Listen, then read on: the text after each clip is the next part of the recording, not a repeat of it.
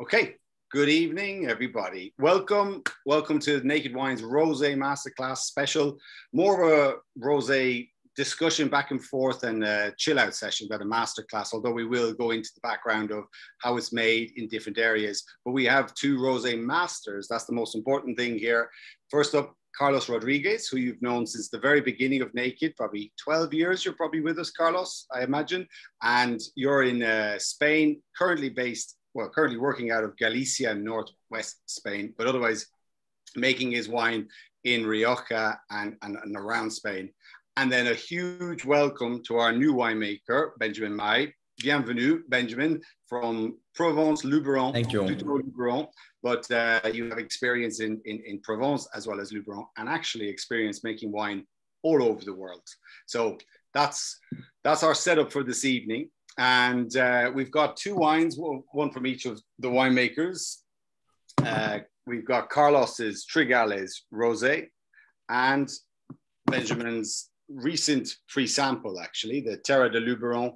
Uh, and i have tasted both of them, quality control. And it's, this is probably the hottest week of the year so far in the UK. So we will take a moment to talk about the weather because this is Britain and people like to talk about the weather.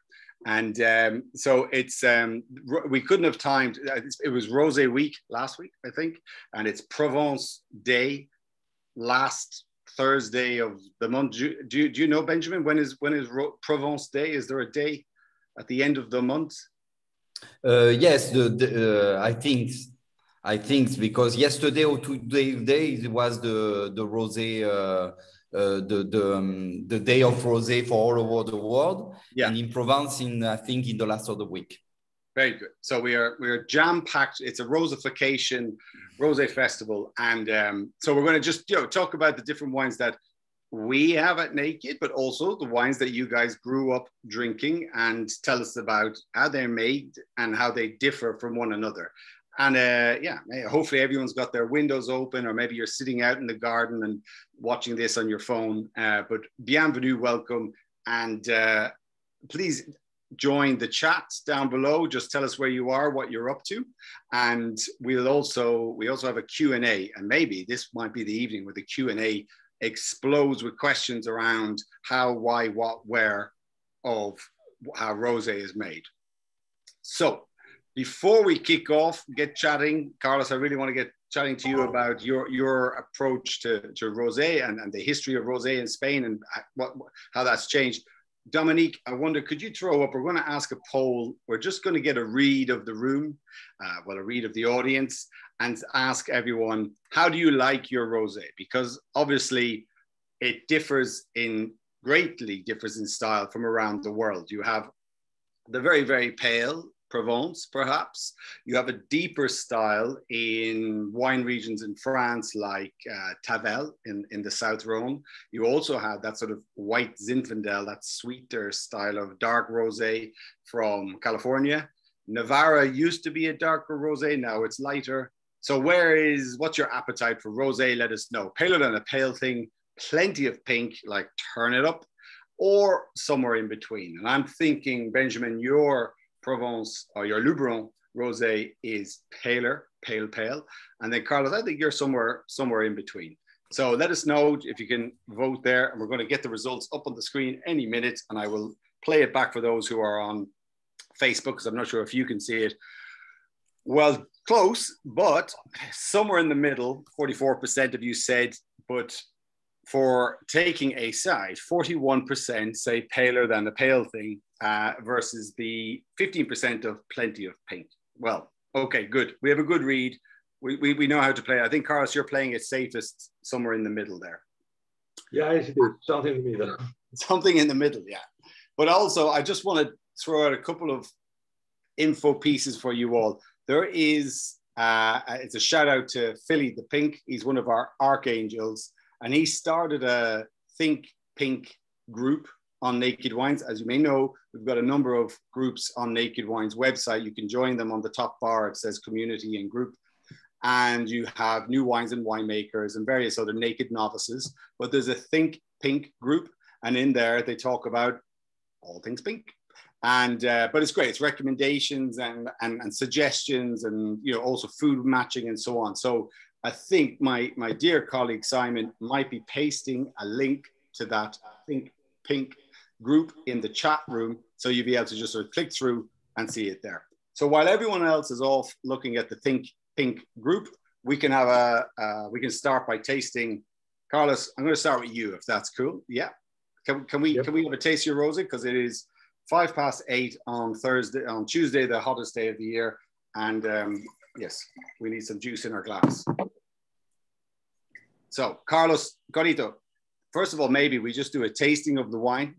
And then what I always enjoy listening to you, Carlos, is where you tell us about how the previous generation or generations used to drink rosé or red and, and, and, things like that. You know, I, you always give a sort of an illustrative, imaginative, you know, figurative uh, description of the region where the wines come from. So maybe first of all, tell us what we should taste in the wine, and then we talk about rosé culture in, in Rioja or wherever. Okay, perfect. Thank you, Ray. Very happy to be here, for being here. Uh, in terms of color, as we said before, something in the middle, not pale as Provence style, not as dark as it was usual in Navarra years ago. Um, on the aromatic point of view, uh, considering that my rosé is 100% Tempranillo, uh, we get the typical balance between uh, the citrusy, citrusy character and flowery character with uh, red uh, red uh, berries like uh, um, green strawberries or not ripe, not very ripe strawberries. That, yeah. that, can, that are the typical flavors we would expect. Um, in in the in the mouth, I think that um, it's it's a very balanced wine. Uh, you get the freshness that the acidity gives to the wine, uh, but we get also the sweetness that the wine has thanks to this uh, sweet uh, aromatic identity. You know, um, what a particular character that Tempranillo gives to the rosé, it's a, kind of uh, some kind of structure you know, it's, it's not a very, it's not a live rosé. It's a mm. quite, uh, it has a quite uh, intensity, body, and volume. And this gives a, this this gives the wine also uh, interesting length. You know, it's it's not the typical uh, rosé that you could uh, drink uh, very easy because they are thinner or lighter it, has a little bit more intense, intensity in, in my opinion. So when you're drinking rosé from Rioja or rosé from Tempranillo, you sort of know you're drinking Tempranillo. You know, you have a little bit of structure. It's still. I was looking at the comments on your wall today for this wine, Carlos, and um, you managed to hit, you know, this perfect balance of it's dry, it has enough fruit, but not too fruity, not overly sweet, and, and it has good persistence. Now that's kind of a that's kind of thing only a wine expert might talk about persistence, but it just means that actually you feel it and, and, and it goes on for, for a little bit longer. And then the, and there's a home for others. I think of Stefano de, Baz, Stefano de Blasi's um, blush, uh, Pinot Grigio blush from North Italy.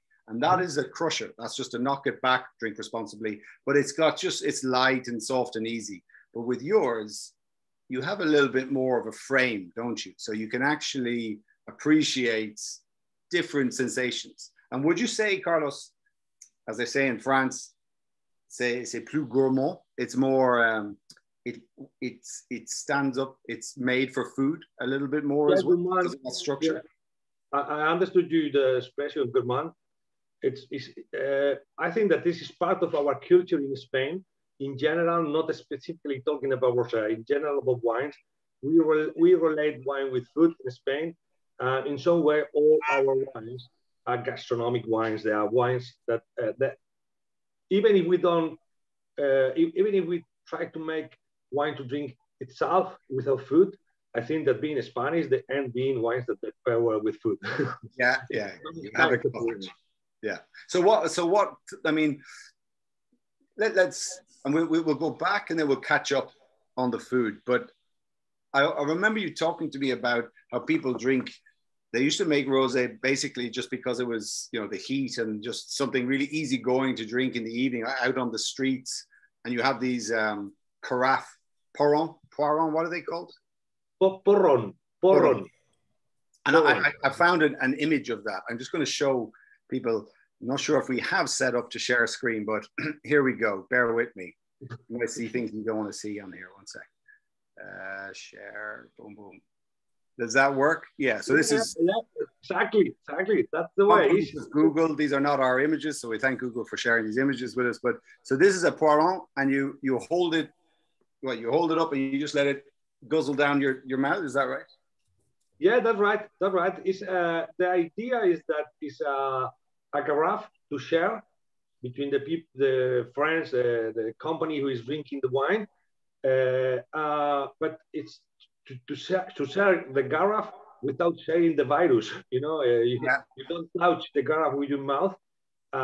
in fact, it's it's a kind of artistic competition between neighbors to show who is able to drink uh, higher, no, with uh, with more distance between yes. the carafe and your mouth. Uh, a good thing is also that this is supposedly to be done as the guy who is with the black sweater, holding it with the with the hand without touching the wine. So you are not warming the wine. Aha! Wow, I get it. I get it. I get it. So it's to to keep the wine cool and fresh, hold it up, and then pass it around to your neighbor it's it's a it's a nice social event without be you know actually it's, it's, it's made for coronavirus. You know you yeah, just have drinks on the street but no one catches the virus. Let's it, bring it back. is there for, for for us in spain uh, one is is very uh, deep in our culture um, uh, to use the Porron was a way of sharing wine with neighbors or with friends. So, for example, probably the first memory I have about wine uh, when I was a child is to, to I remember my grandfather uh, in, on the street with my neighbors uh, sharing a porron of rosé uh, before uh, at evening before before dinner. You know when it was uh, almost sunset and we, you started to have some fresh air. It was a moment for sharing, uh, you know, a normal day with the neighbors, you know, for chatting, talking, uh, you know, times without internet, without social networks, but um, time with where you used to have a porron every evening with your neighbors. And this is the, the probably the first memory I have about wine is my grandfather doing it. That many times they, they used to do it even with a little bit of lemonade or soda, you know, if, if, if, if this was more or less depending the quantity they wanted to drink. If they wanted to drink more quantity, they used to add a little bit of lemonade for refreshing more and not get you drunk so quick because the grandma was was at home waiting waiting them. yeah. No, that is absolutely fantastic. It's beautiful. Um, it's nice to think back to that time of yeah, just the basic, the authenticity, and the, the the simplicity of sharing wine, which is what why we're all in this, you know, because what we want to do is just enjoy. It's such a beautiful cultural piece. But um, Carlos, what we will what we'll do, I know that you've got plenty more to share about your wine, and I want to come back on food as well. But uh, Benjamin, can we talk about your delicious? I think it's ninety six percent rated Terra de Luberon, which was a, a free sample recently. And uh, tell us first of all, where are you? Where are you based? Where are you calling us from now, or where, where are we calling you? Eh, I, I call you from. Uh, I have in Luberon. We near, uh, not far away from Aix-en-Provence. Um, it's very important here because you have in the rosé culture. Um, uh, south of France, south of France, Provence born um, the culture about uh, rosé in um, taking rosé like red wine um, uh, um, because um, uh, I born in this region when my first remember was taking rosé on the beach. You understand what I mean? Yeah. That everybody taking rosé. I never take, I tasting, my first tasting was rosé, you understand? It yeah. not was red wine or white wine, no, it was rosé. People thinking rosé, people drinking rosé every time, every moment. We have so many uh, different choice of rosé that for the aperitif, for the um, dinner, or sometimes just to drinking wine, you know. Yeah. and and and and first remember it was uh, um, go with friends on the beach in the south of France.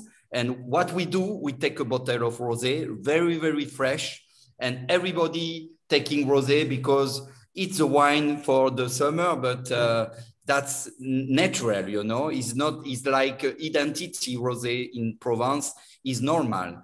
Um, uh, obviously, uh, actually, with my my comeback in, in in south of France after 12 years uh, in Chile and different region, um, I send a, a, um, a, good uh, thinking about my friend Luca. You know Luca, winemaker.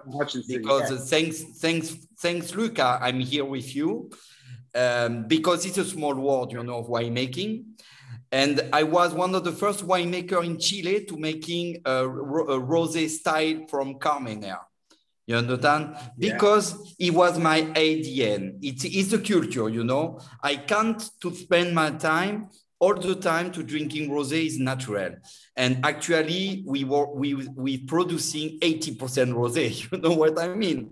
Yeah, I make seven, uh, six or seven different rosé in my in my, in my uh, portfolio. And um, wh why Luberon? Because we have pioneer. I, what I mean to do. Provence today is very close. Many people invest in Provence. The land is very expensive. And we decided when I back to Provence, with Luca because I make rosé with him in south of France um, to trying looking for new terroir, new area geographic that mean very interesting for the same grape variety that we use in Provence as principally uh, Syrah, Grenache, and white grape variety we use uh, Vermentino, white uh, Grenache, and Ugni Blanc. Why the reason? Because it's part of this culture of rosé or looking for the harmony and all the time in rosé uh, industry in south of France, we have a culture of co-fermenting white grape with red grape. That's one part of the story of the rosé modernity of uh, industry. Um, um, uh, we have actually a first unique center in the world of rosé uh, research that they give a lot of information for all the winemaker in the region. Mm. That's the reason why we have always have to do the new tendency, the new experimentation, how have to progress in this story of rosé because of course we have uh, we, we I born in rosé and we always trying something that the customer has been uh, enjoying, but they can't to take rosé for all the moment. That's very important. And for me, is my culture. I take rosé every time. This is, is natural. I've been in Chile making different grape variety, but I'm back to France, south of France to making rosé, you know? Yeah. And I really appreciate and thanks for your angel to, to have this, uh, um, um, uh, to give the, all this uh, uh good uh, um, um, uh, note and but we work we work all together with us to make the best and uh, to trying to make a pers- of course personality. That's the reason why two years ago we buy a vineyard here. We have a vineyard between we have uh, around um, uh, uh less uh, less one kilometer of provence. We have exactly the same orientation of the rosé uh, vineyard in provence.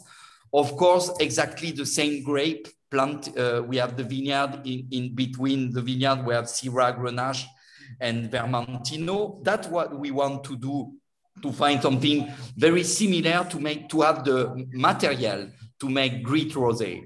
And of course, a lot of working with winery, with the technology, because they need a lot of time in the in the in the winery uh, to taking the right color, the white grape, uh, percentage of grape to keep this kind of flavor, very fresh freshness style, but not too too much excessive in, uh, in, in, in the style of uh, uh, grapefruit or something like that, mm. the, the perfect balance with the acidity. We have 300 meter under the level of the seed. We have a lot of freshness.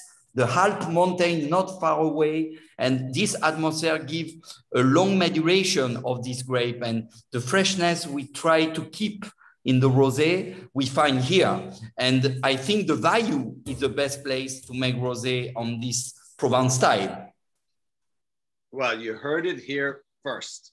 Thank you, Benjamin. That's a beautiful picture of, of where you are and, and, why how it differs from next door. Do you have a glass with you there? Can, can we taste your wine with you and maybe tell people about what what you taste and what you look for, what you try to achieve in, in your wine? I've got of course, of course. Well, um, the, this rosé is made a little bit in the space in the spirit of grapefruit, um, tropical note, a little bit uh, berries. Uh, that's very important. Uh, the color is very pale, like uh, pale, uh, a little bit uh, salmon and real pale. Of course, it, we, we, we're looking for this balance about not excessive of not of orange. Um, I just want to show you something very unique. Is my is help me when we working. We have uh, established the center of rosé a different panel of color. Oh, fantastic! And yes, this yes, yes. we work the winemaker working with kind of uh, like a painter because we design the rosé for the color first. That's very very important in in the culture of rosé in Provence all the winemaker have this instrument. Can, can, of course, it's multi. Can you show? Sorry? Can you show us a couple of the panels, the pages? Yes, of course. Do you see? Um, is this a color that we're working? Actually, we had more with um, lychee and uh, pale color, lychee and and and just salmon. A little higher, Benjamin. Just a little higher, please, like your face, please. Yeah like the okay. yeah yeah yeah perfect perfect like yeah good this okay. is really interesting things that winemaker use for the to design the color because yeah. one first things we're thinking is the color because of course we have in provence and in provence you don't have to make anything people have exigence and um, we need to apply some things that make a little bit in the move of uh, all this center of research and that's the reason why we had white grape in the red grape in co-fermenting, that they keep this kind of flavor very clear, very uh, not very excessive, you know. And with this, we determine the, what the color we want to work. It's, it's absolutely fantastic. I love it. And so, uh, and you discuss it? I assume each Pantone has a name, and then you say this wine, like uh, you have two wines with us Yes, this of wine course. will be number 24 color. Exactly, exactly. The, the rose, the, the first rosé you're tasting, the De Terra Luberon, is yeah. much a little bit for note of um, uh, lychee and some salmon color. Yeah. yeah. But the other, the other rosé is Terre des Hospitaliers, is more grenache and is more peach color. You ah, understand? yes, that, that that's two time of color because two different brand two different blend of grape variety. The terra is more syrah style is more provence.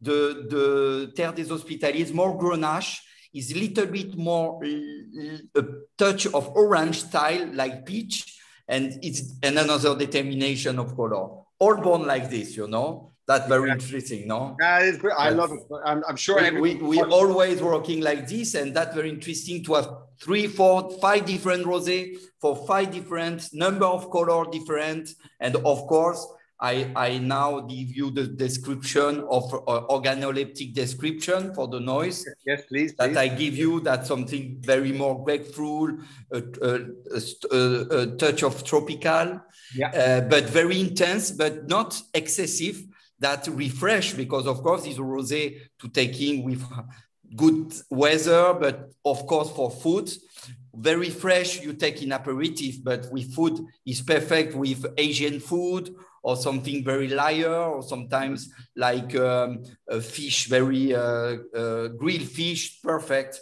In summer that the temperature is very higher, it's perfect. In mm. mouth, you have the freshness, you, you, you find the fruits, but they have crispy, you have a good acidity, a long balance, and that we, we want to do. That's the reason why we select vineyard of 300 meter under the level of the sea to keep the acidity. And plus the secret had the white grape, the white red refresh my blend, and yeah. they refresh all the, the, the, the, the I retake the acidity uh, uh, with the white grape variety because we take the Greek variety from Ugni Blanc Vermentino a little bit more uh, uh, earliest, and they keep all the freshness we need with the Syrah and the Grenache base. And I can feel it. It has, yeah, it has this sort of length, and you can still feel it on your palate. It's great, great vibrancy that you say, like from the white grape. It's a really delicious wine, and people are absolutely loving it. I did have a, a collection of notes from the page, but people are basically saying it's just just the right balance of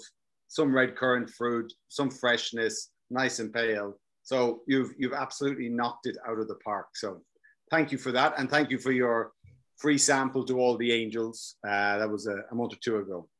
Carlito, amigo, can we go back and talk a little bit about um, maybe some of the food that you can be because we, most people that join us here, they're first and foremost wine lovers but they they come with food. Humans, we need it. We eat it. I eat personally food every day.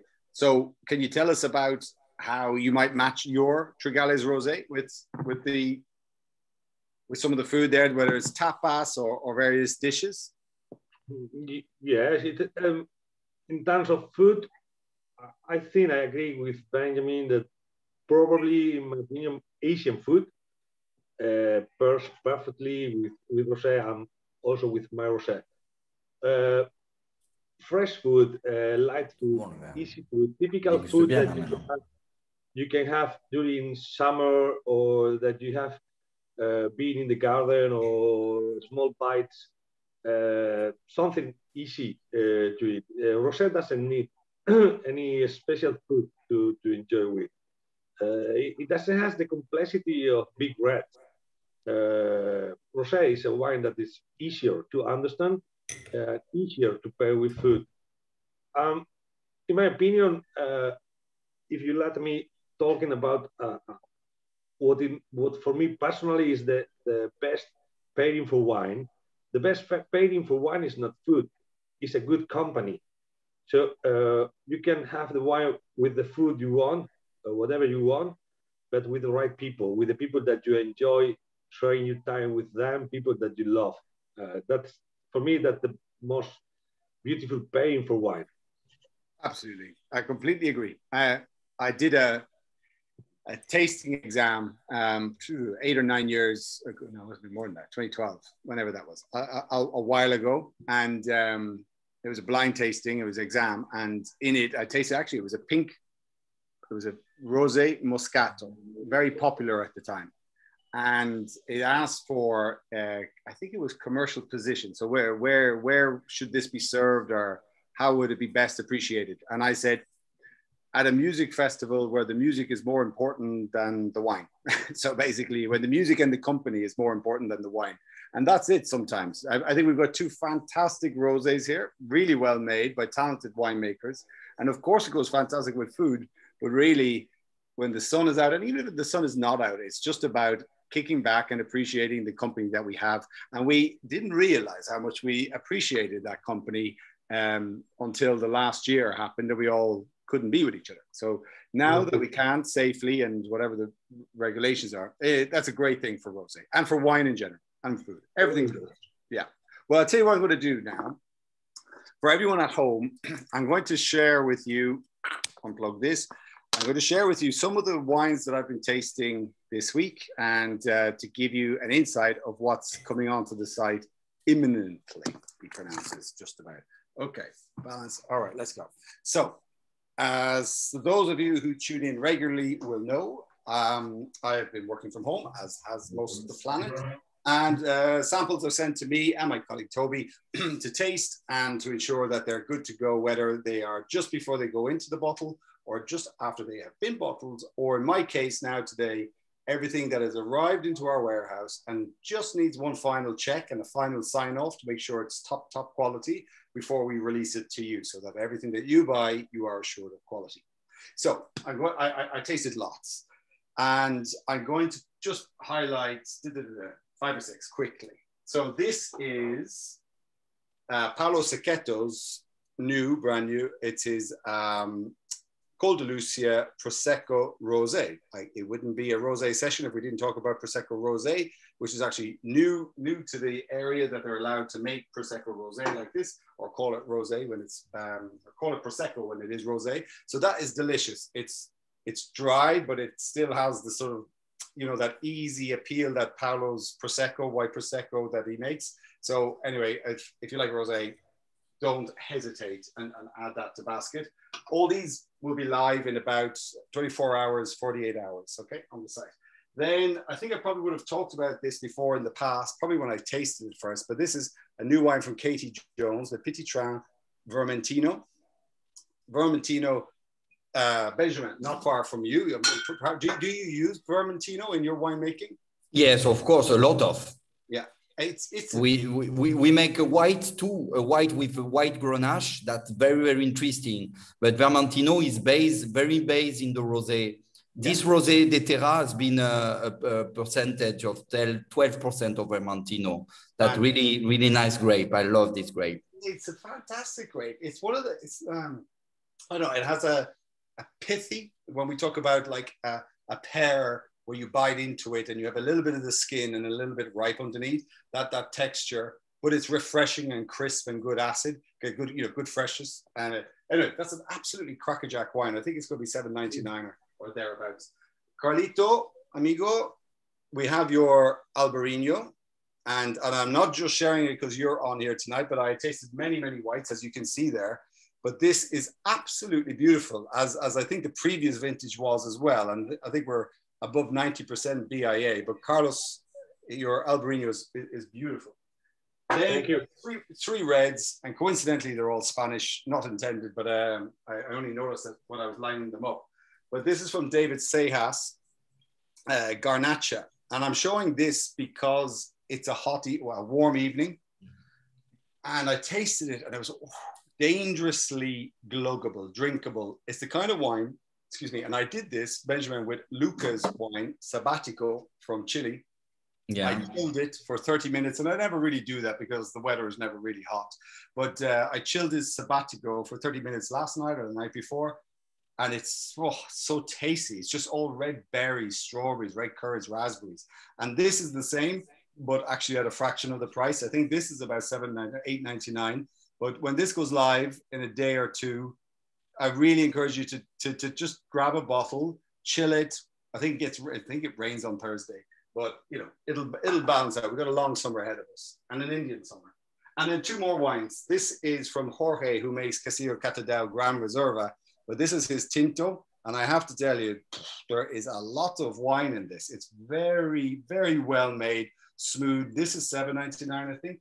And I should know. I mean, I do know, but I just keep forgetting and it's um, it's got the freshness, the red berry fruit of Tempranillo, but then it goes all round and a nice little bit of oak on it and smooth. So it's an excellent value wine. And then finally, one of the best wines I've tasted this year.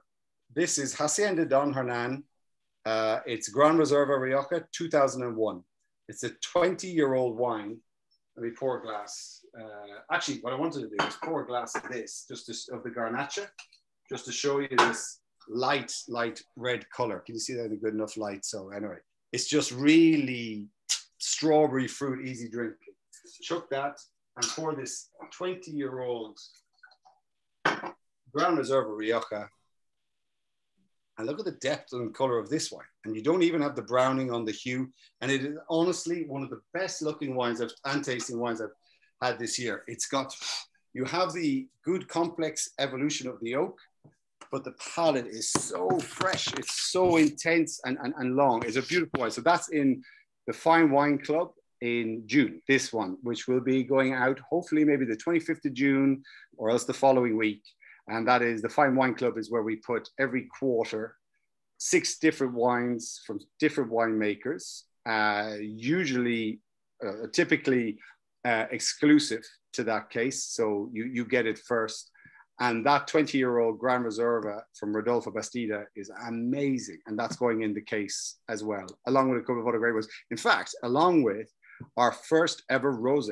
Uh, this one is Provence and it's from um, uh, the name's escaping Chateau Saint Hilaire, excuse me, uh, our Provence, uh, their uh, Provence producer there. So for the first time ever, the Fine Wine Club will have a top, top rosé in there. So it is showing our commission and our, our compassion towards uh, rosé in general. So, bon, uh, we, we're going to we, we have some questions and answers uh, to, to, to address there in the Q&A section. But what I wanted to do is introduce everyone who's tuning in. Um, I want to introduce everyone to a, a couple of, there's three wines I want to tell you about. And there's one book I want to tell you about. If you really are a die-hard um, rosé lover, there's a, a, book by a master of wine called Elizabeth Gabay. Uh, she's British, lives in the south of France, and it's called Rosé Understanding the Rosé Revolution. I think it's along those lines. Excuse me if I've got that wrong, but it is that. I, I have it. I bought it as soon as it came out, and it is packed up in boxes, moving between our offices. But that's the kind. It's a beautiful looking book, but it, it just it's a nice. Yeah, I guess you call it a coffee table book where you can have a look and get a bit more of an insight. It, it's, it's educational in terms of how the different rosés are made, but then it also tells you about the different regions that make rosé all over the world. You have Chiaretto from Italy. You've got the Tavel. We must never forget Sancerre Rosé, which I think is really one of one of the greater rosés of the world. The texture you get from the Pinot Noir always sells out and naked wines. And then, of course, there's Champagne Rosé, English sparkling wine rosé, which is knocking it out of the park. So that's a great book, uh, I, which I recommend. And the other piece I wanted to say, as part of the benchmarking process that we do at Naked, so just very quickly, when you go onto any wine's page, you will see the angel price, and above that, you see the market price. And the market price is what tells you we have tasted this wine against a wine of similar quality that you would get out in the market from another supermarket, retailer, whoever. And the saving is what you actually get when you buy it from Naked, but you're getting the same standard. And that's thanks to the model. But in doing this process to ensure we taste, taste, taste against the different wines in the market. One wine particularly popped up when we first started doing this July 2018 and last year and this year is Virgile Joly's Rosé. It's a Van Doc, Benjamin, and it's it's just so delicious. It's so good. It always absolutely nails everything. We actually tasted it against Brangelina, you know, uh, Brad Pitt and Angelina Jolie, they had, is it uh, Miraval, I think Chateau Miraval uh, in, in, Provence, which costs 14.99 or 15.99 or something like that. And we tasted against this one blind, amongst other wines. Anyway, it's just an awesome wine. So whatever you do, add that to basket. Two others, again, Spain, is Rafa and Nuria, who we helped out in the COVID fund. Uh, they are in Terra Alta, which is outside of Barcelona. And their their rosé, uh, which is already live on the site. And I think my dearest colleague Simon is going to post the link to that page. But do yourself a favor and buy that rosé because, or or you know, check it out. I'm not. This isn't a, a hard sell. I just want to share some of the goodness. But that is really an astounding, outstanding rosé. And then finally, also from the same area, coincidentally, is Frank Massard, his Cava Rosé, just to put it on the radar. Be remiss of me not to mention a Cava Rosé. But Benjamin, I think we, we got in touch, or you were in touch with us last year around the time of the COVID rescue fund. And we, we included you in a, in a case. And so you, you and your wine was very popular. You sent us, you sent Eamon and I samples, and actually we were spoiled. We were very lucky for the, the samples that you sent because the quality was so good.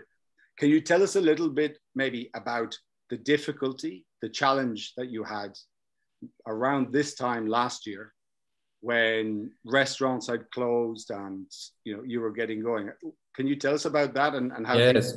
well we, we have a young company you understand. We just starting two years ago. I starting my own company from my cousin uh, uh, five, uh, five years ago but we starting with the vineyard two years ago just before the crisis of covid and that's been very very difficult. And I think um, I'm very very lucky to find uh, Naked Wine because it was a really great for us to to help the, the, the, the, the dynamic and the creativity of winemaker.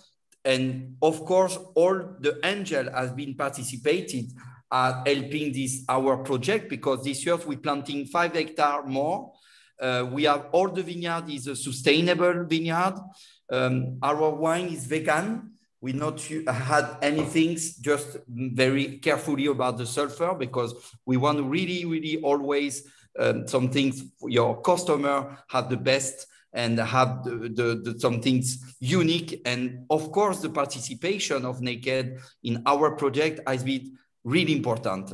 Actually, uh, we growing thank, thanks to you, thanks to project our project with you, and uh, um, we glad to to to have a very good uh, the customer and your angel has been very carefully about us and of course i invite everybody to come to south of france in luberon because of course we will very happy to receive you and i'm very small a lovely vineyard with a wonderful warehouse and uh, of course this part of rosé you know share passion share passion of winemaker and of course uh, I, I, appreciate um, Angel has been uh, uh, like Angel, you know, yes. about uh, about us. That's very great. Thank you so much. No, no, that's wonderful to hear. I mean, I actually wasn't aware that you were as young a company as two years, and then for something like this just to hit.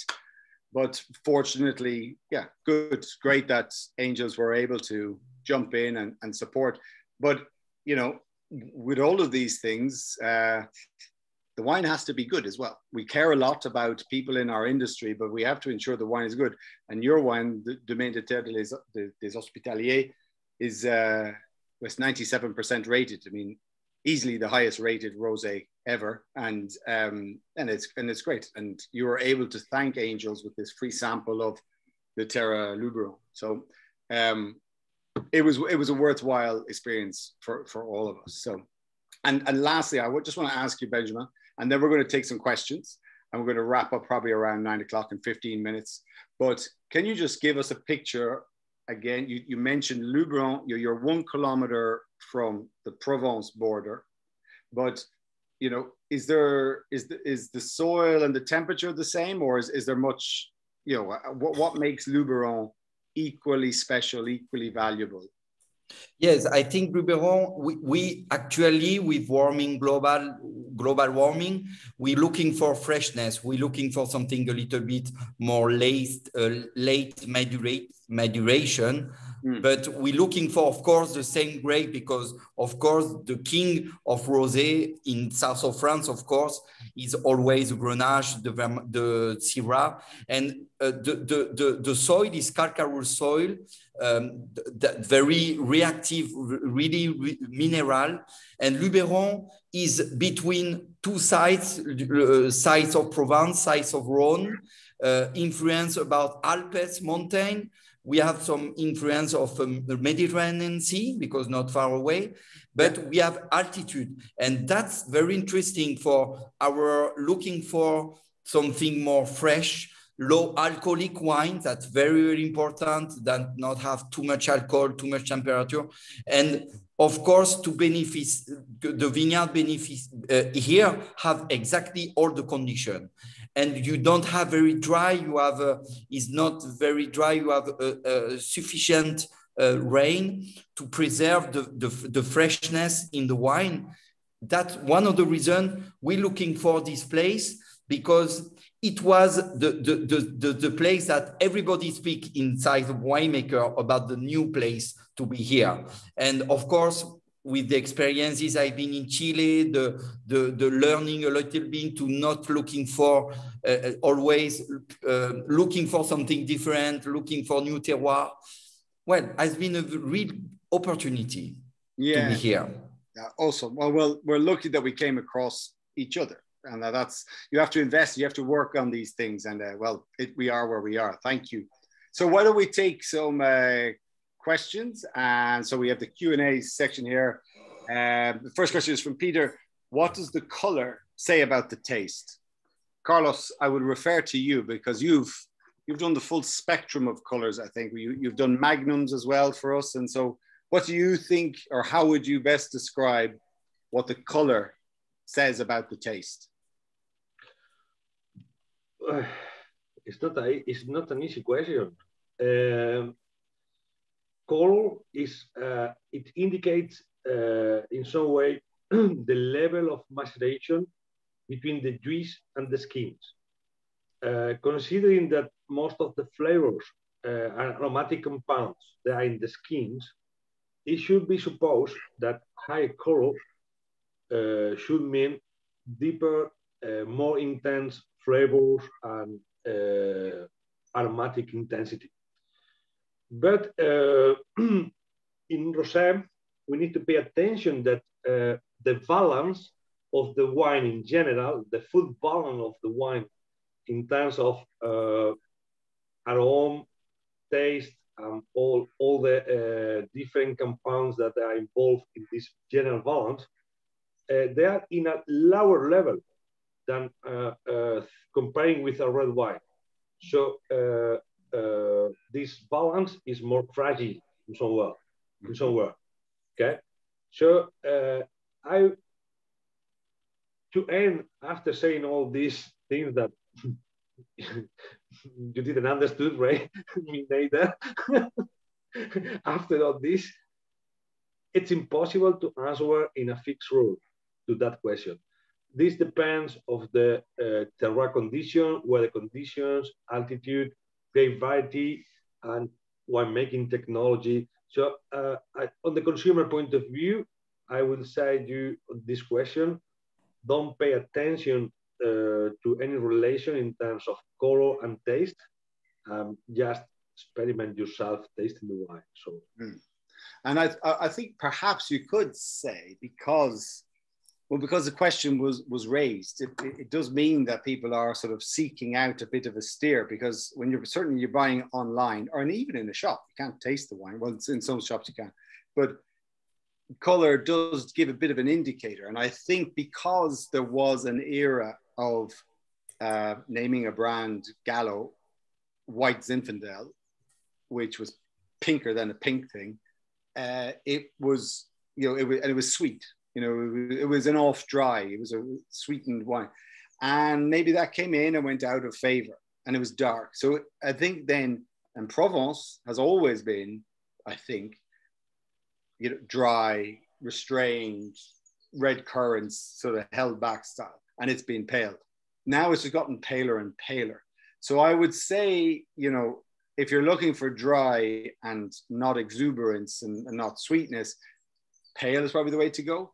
Whether whether a, a rosé that it, it has a bit more depth and color to it is actually sweet or not, then on Naked Wines you can read the comments and they'll tell you the your your you know your peers around the country will tell you if it, if they think it's sweet or not. For example, Thomas mm. Buendia from La Mancha, his is I probably reckon his is our, our deepest rosé, but it's not deep. It's like medium pink, and it's dry, but it's medium pink. So in, in that spectrum, his goes more like that. Mm. So uh, as always, read the comments. Mm-hmm. Right, just uh, one appreciation I would like to introduce uh, yeah. in the conversation. Uh, when, we, when we talk about whites or about reds, uh, we don't uh, usually talk about whites in general or reds in general. Uh, we talk about different varieties, different producing regions, different winemaking methods. Uh, it's not the same, and an oak red or an aged red. So uh, I think that with Rosé, we, we must consider the same situation. Uh, Rosé uh, has a lot of difference depending uh, region, uh, winemaking methods, grape varieties. So I think it's what you are doing in Naked Wine, uh, right? It's a very interesting uh, point of view about Rosé because the variability of Rosé wines that consumer, our angels, they can choose and taste is so big that uh, we are showing all the difference between uh, different varieties, different, different regions. And this is uh, I, I, think, in my opinion, is something that uh, I appreciate. Uh, I would like to say you thank you for doing it because it's, uh, it's, it's in some way helping uh, our, uh, helping wine consumers to be more open-minded uh, in the point of view of rosé wines. Hmm. Good. Well, and that's what the group is. Think Pink in the, the, the Naked Wines community group. And um, there you can go and unleash all your inner pink abilities. Um, so we continue with uh, just wondering, just wondering as there seems to be this from Gary. Thanks. Just wondering as there seems to be less availability of vegan white and rosé than red wines. If your wines are vegan or not, what influences your decision on the products you use to clarify the wine? That's a big question, Gary. Um, Benjamin, vous avez compris? Yes, of course. Yeah. Can, would you like to answer? Just surprised. no, it's good. Yeah. Uh, I think the vegan for me, it was a choice of complication of clarify the wine. Of course, actually, we don't use any product like casein from eggs or gelatin from pork. We use just uh, vegetable, uh, um, uh, comment on dit uh, vegetable um, uh, uh, clarify, clarify. And it's more complex, of course, to keep the low color because we don't, we have not, but we like the challenge, you know. And more people ask me, they have um, sensibility or they have allergy, and we we want more purist. You understand what I mean? We want to want the purist because I I I'm um, to to join to Carlos Actually, I manage my vineyard for make rosé wine 100%, one part of my vineyard. All the vineyard is managing for make rosé. You understand? We make, uh, the, you, you cultivate the vine. We, we have a process in the vineyard just to make rosé. That's crazy because we, we try attention about all the detail because it's really, it's the, the vineyard when it, we decided to make rosé, not like this grape is we we make red, and for example, some part of the, the grape go to make rosé. Some some people make like this. Yeah. No, we just 100% of the vineyard go to make rosé, and we have different process of vinification to make different rosé. We have maceration of uh, cold maceration for stabilization in cold temperature. Some wine is not cold temperature. We not have different uh, type, type of temperature of fermenting. Some wine is fermenting a little bit more higher. Some wine, wine is fermenting very cold temperature, like Sauvignon Blanc style. And that's very interesting for, for, for, for, for this challenge to making different rosé in the same vineyard. But all the process has been working like this, and vegan has had something more guaranteeing the consumer because all the vineyard we have a certified HV1 is like uh, haute valeur environmental. That's really important for me. We not use herbicides in the vineyard, and I think it was a, a challenge to add uh, more some things for the customer to to guarantee of the quality of the product. Yeah, that's lovely. I, I, think I would describe you as a purist, a, a rosé purist, Benjamin. But it's it's great. Thank you. Wide breathing, uh, great breadth in your answer. Um, we have another question here from M Norris. How come so much good rosé comes from France? Carlos, I'll let you answer that. yeah. I, I don't agree with with the main with the main part of the question. Uh, rosé wines uh, are made amazing in around all over the world. Uh, what probably happens is that uh, the possibilities that uh, you can uh, get in the market for getting rosé wines from France are much bigger than any other places in the world. Mm.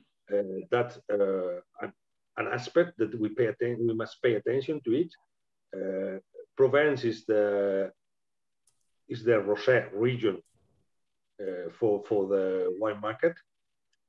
But uh, to say the truth, uh, I think that Benjamin said a very important thing. they cultivate the vineyard exclusively to produce rosé. And that's something that uh, we don't do it in that way. Uh, my, wine, my, my wine, for example, everybody knows where the grapes came from. I think that I'm not going to go to jail if I say here that the grapes came from Rioja. Um, we uh, we rack uh, around 10% of the tanks to concentrate the Tempranillo, so to make a better red. Uh, we this uh, juice uh, we use for making rosé.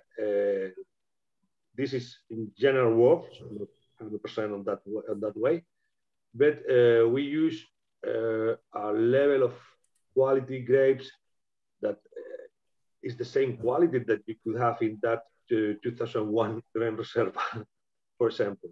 Mm. So there are different different ways to work, but uh, I agree uh, that uh, it's very important what Benjamin said that uh, they cultivate the vineyard since the beginning, thinking to make it rosé. Yeah, I think that's a fair comment, uh, Carlos. It comes back to what's the objective? What are you out to do?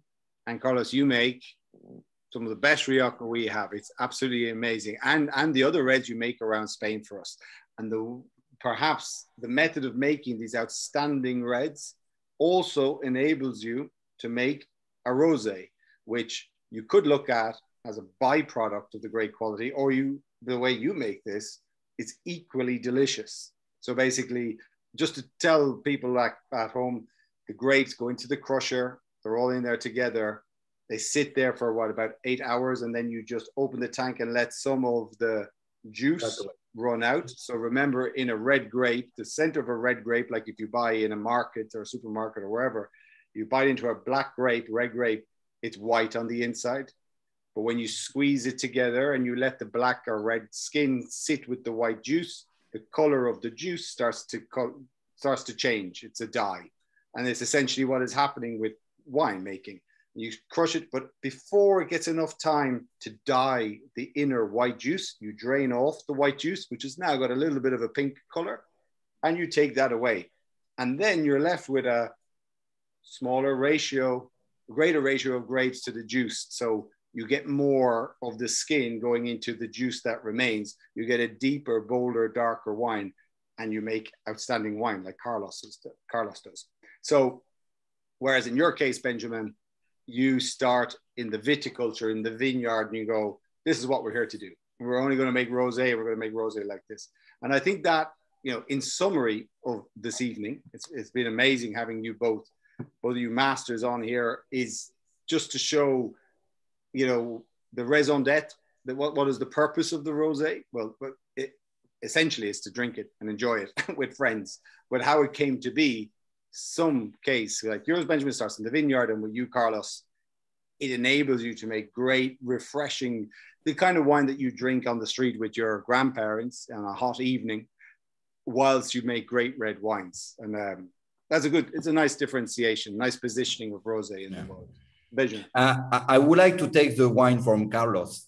I'm really happy to taste Rioja, and I know, but um, and I invite Carlos to come to here because uh, it's very interesting that we change. Like Luca, for example, is uh, we change a lot of, and Luca is coming because he has vineyard in in in Spain too, and we working together. We making rosé for another market in the US, you know, and they're interesting to to with um, uh, things thanks to Naked that winemaker not have just a relationship to making wine to sell, but to, to learn each other. Why you do that? Why I do that? And try to learn because I'm very interesting and I admire the region when you come from, uh, Carlos. Uh, obviously, I'm working in Chile, I'm working in Australia, I'm working in different countries all over the world. I work in Bordeaux.